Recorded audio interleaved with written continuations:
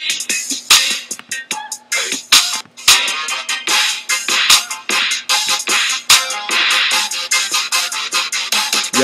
can I get that drill? Can I get that kush? Can I get that kill? No Reggie Bush. Can I get that vodka cran on the rock, rock, rock? If you don't like me, I don't really give a fuck, fuck, fuck, fuck, K.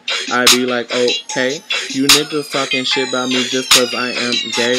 Okay, let's get him now. I'm with the red bone, he's with his honey. I don't say, I say, where's my money? Where's your money? Where's my money? Yeah, motherfucker, shit, where's my money? If a nigga try to get loud, I'ma run it. Kick him in his nuts, then start gunning, gunning, gunning, then start gunning. If his friends jump in, then I'm running. Excuse me, I'm sorry, I'm really such a nigga. My name's not Trey, but I'ma pull the trigger. And this is what can happen when you fuck with a gay nigga. We punch and scratch and chop and cut and leave you in the river yelling all around the world.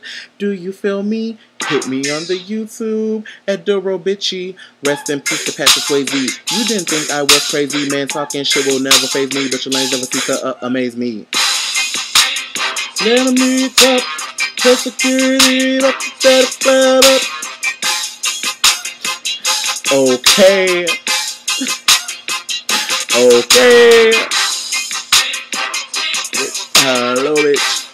Goodbye.